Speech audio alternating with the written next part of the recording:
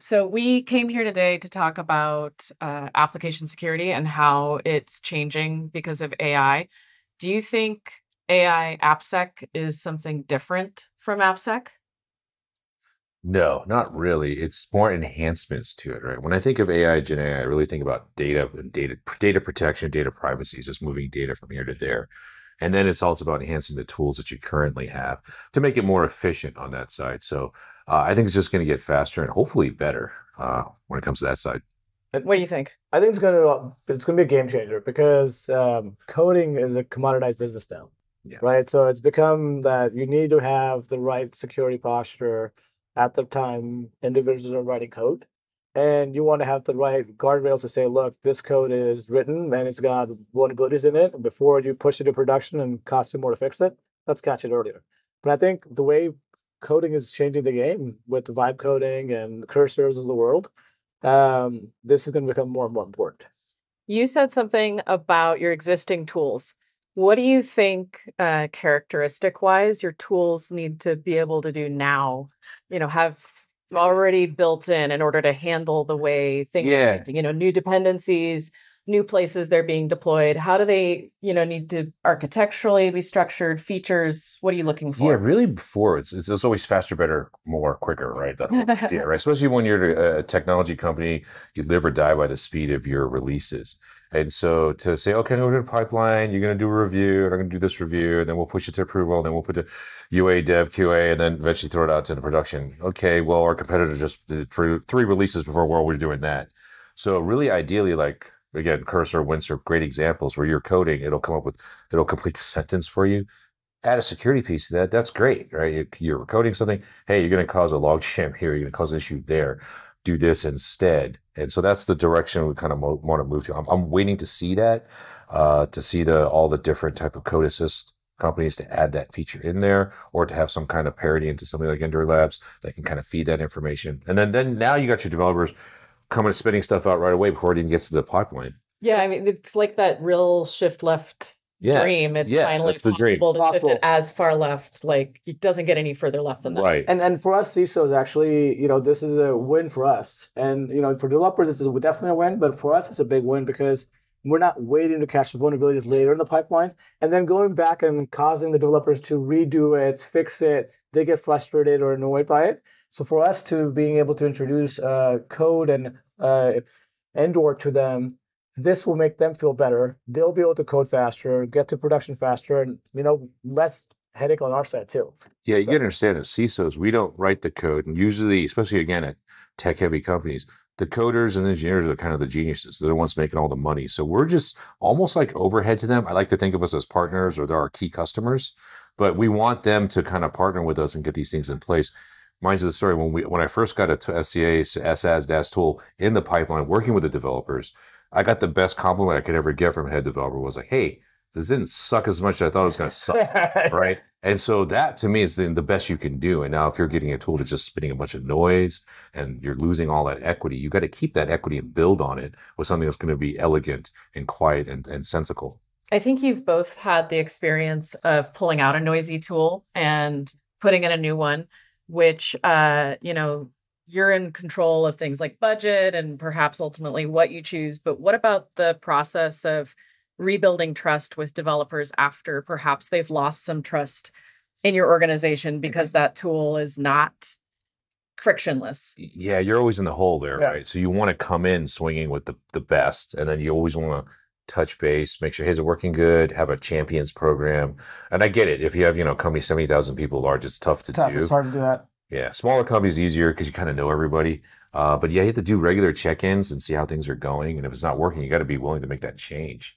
In my previous life, uh, you know, working for smaller startups was easier, like uh, Jeremiah was mentioning. But for larger organizations, what I ended up doing was I talked to the CTO, uh, engineering leader too, and I said, who are one or two people in the team that have come come along for the ride Hmm. with me in picking the tool, going through the capabilities, and then when we did uh, you know, the test drive, we just gave it to them. Come back and tell me you hate this product. That's fine. I'm good with it. Like, I mean, I'm gonna let you. You're gonna have a big vote in this. It's not like CISO is going to tell you this is the right tool because it gives me this. If you guys, to your point, if they don't give good feedback back then, then it's like they're like, oh, another CISO picked the tool, putting it down my throat. I got to go use this.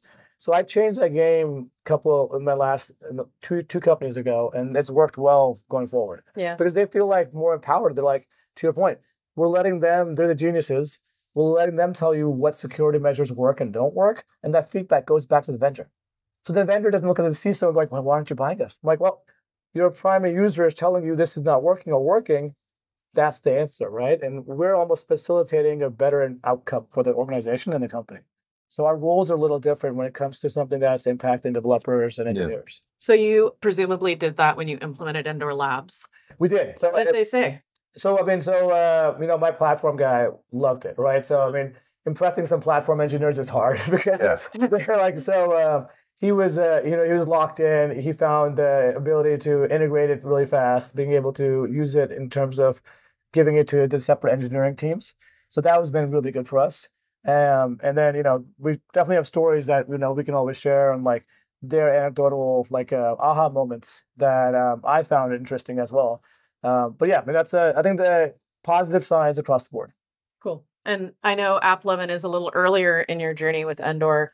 What have you heard so far in terms of feedback from you know your team, the engineering org? Yeah, it's just a lot cleaner, a lot less noise.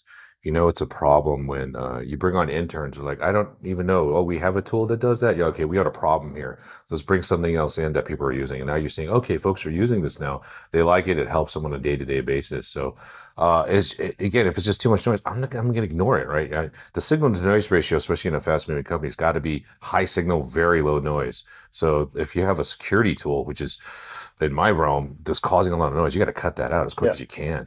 I think we could almost say that uh, experiences using AI code assistants, that in some ways that code that's being produced is quote unquote noise because it doesn't Mm. have all of the security best practices. Um, often there's code quality issues. So, what are you seeing in terms of, you know, if you think of like the Gartner hype cycle, you know, you get, Yeah. I, I, all I remember is the trough of despair, or Yeah. disillusionment or something. Like, where would you say your uh, engineering teams are in terms of their attitude toward these tools? Attitude towards the security tools, uh, it's still it's still getting there, right? What about the code assistance? the code assistants is they love the They love it. They love it? Yeah, they're leaning in. Yeah. Yeah. They're all leaning Yeah, in. It's almost like if you're not doing it, it's almost like we have a list. We have a list, and we actually see which users are actually using it and how much you're using it versus not using it. Okay. And then there's actually a conversation. Please go. We have a weekly engineering leadership meeting. I'm part of it. And it'll be like, hey, you know, so and so, can you go talk to your team members or these two? Why are they not adopting the tool? Hmm. Like, is are we missing something or like what's going on? Right. So there, there's definitely um, a choice by engineers to kind of lean in and uh, really push it acro- across the entire environment. Are you seeing application release velocity increasing in those teams that are Yeah. heavy adopters? 100%. Yeah, yeah, absolutely. I think uh, what you're seeing is the folks that they, they use it or lose, you're going to fall behind. That's Yeah. the end of the day, right? And so now you're getting maybe a junior level coder is now coding at a at a mid to almost senior level uh, because of this assistant. So why wouldn't you use it? Yeah. All right. Last question has nothing to do with anything we've talked about so Okay. far. We're here in Vegas. Uh, there's all the conferences, all the conversations. Uh, what's something that you've encountered so far that you've been excited about, enjoyed, got you stoked to go back and talk about with your team? What anything? Yeah, I think you know being at Black Hat for us is because there's so many vendors and VCs, and right now it's in a good space in security. It's pretty hot. A lot of new startups are coming. A lot of buyouts are happening. You could argue whether it's a bubble or not, whether the prices are good or not. Okay, but the point is, there's excitement here. There's stuff being developed. There's money. There's smart people are getting funded, doing great things. And so, if you're, and I think you and I are kind of in this boat where we're lucky enough to work with some of these folks, we could help shape what they're doing. What I have noticed is a big divide. There's uh, either a really smart AI guy who doesn't know cyber or a really smart cyber guy who doesn't know AI. right? Yeah, And so, in the case of smart cyber guy or AI guy that doesn't know cyber, we've kind of pitched into some of these places to say, hey, do it this way, make it do this, and also now you have a better product that everyone can use. So very exciting. I hope it's not a bubble that pops, but right now we're in a good spot. There's a lot of a lot of synergy, a lot of talk, a lot of excitement. A lot of innovation, huh? Yeah, Yeah. yeah. Excellent. Is that similar for you? Yeah, similar, similar, and the other thing is like uh, re- reconnecting with some of our friends on the East Coast and you know other parts of the U.S. where we don't get to see them as often. I think getting some of these uh, smaller conversations and events has been like, oh, you're using that product. Oh, I'm using this one, and then we exchange notes. And sometimes like we're like, oh, we should go talk to them about this the next feature parity that they should be doing, because we both already aligned that that's where they should be going.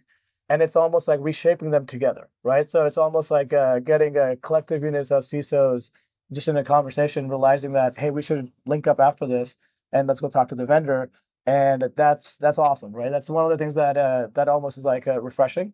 But sometimes we always feel like we're alone on an island back home, just trying to solve this on, Yeah. on our own. Yeah. Right? So Yeah. that's- it's. You're the uh, one of one in your Yeah, company, right? Yeah, yeah, and that's what's kind of nice, if you're reaching out to a, a- a good VC. Yeah. That oh yeah, we have a company, and the best ones are hey maybe they were not in our portfolio, but I think that kind of fit with what you need, and you get those intros, and if they're early enough, Series A, what have you, they'll start working with you, uh, and then now you have free work basically being done Mhm. for you. You get to shape the product. Yeah, I mean, I wouldn't- You want it. I wouldn't bet the farm on it, like if it's a critical control, but it's definitely something you want to area you want to grow into. It's nice to partner. I've done that multiple times and it's worked out well, but you do got to be careful, right? Yeah. because they get bought and you're like, oh, now No, what I happens? know. Yeah, Yeah. dental isn't Yeah. great. Yeah. Yeah, Absolutely. All right. Well, thanks for doing this. Oh, yeah, absolutely. good. Thanks. Enjoy Vegas. Yeah. Thank you. Thanks.